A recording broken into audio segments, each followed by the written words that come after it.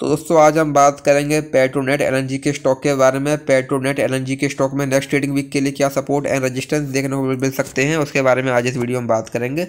हम अगर यहाँ पे स्टॉक की बात करें तो हम देखेंगे जो ये स्टॉक है हमको पहले यहाँ पर लगातार क्लियर डाउन ट्रेड में देखने को मिल रहा था। पहले हमको स्टॉक में लगातार लोअर लो लोअर हाई वाला पैटर्न यहाँ पर देखने को मिल रहा था।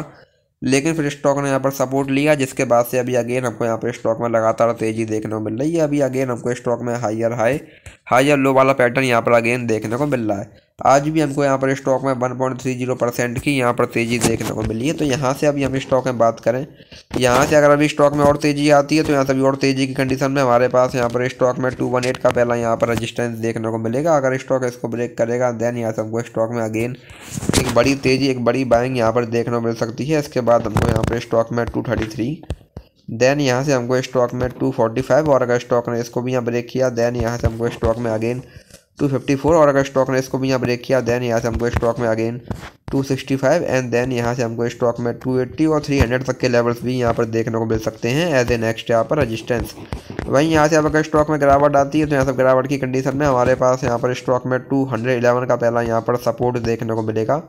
अगर स्टॉक इसको ब्रेक करेगा देन यहाँ से हमको स्टॉक में टू देन यहाँ से हमको स्टॉक में two zero two and then यहाँ से हमको स्टॉक में अगेन वन नाइन्टी फोर तक के लेवल्स भी यहाँ पर देखने को मिल सकते हैं एज ए नेक्स्ट यहाँ पर सपोर्ट तो स्टॉक में कुछ इंपॉर्टेंट लेवल्स हैं, आप इन पर ध्यान दे सकते हैं। बाकी वीडियो में कोई बाय सेल होल्डिंग सलाह नहीं है। वीडियो केवल एजुकेशनल पर्पज़ के लिए है। धन्यवाद।